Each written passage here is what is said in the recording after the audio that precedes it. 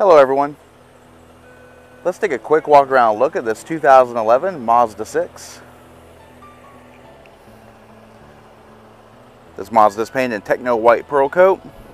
Has the black cloth seat trim. Powered by a 2.5 liter four cylinder engine. The 5 speed automatic transmission.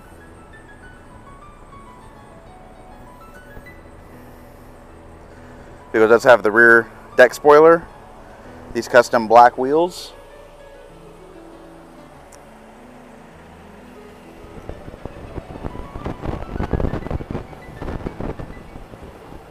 Let's go and take a look at the interior. Alright, so inside this vehicle does have power windows, power mirrors, and power door locks.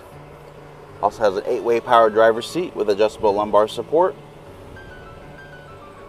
We're just going to pan across the interior, give you a little bit more information. Small dash storage tray here. Bluetooth connection for your phone and voice commands.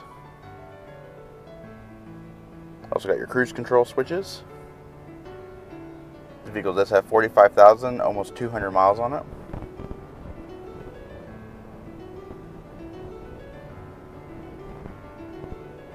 Six disc CD changer with WMA and MP3 readback, air conditioning automatic transmission selector with manual shiftability.